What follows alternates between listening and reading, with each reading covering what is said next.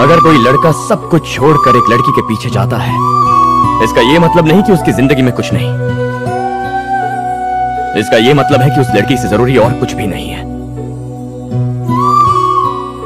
तुम्हारी आँखों में सपने हैं, मन में चाहत है और दिल में प्यार भरा है। फिर भी क्यों अपने आप को इस तरह से धोखा दे रही हो?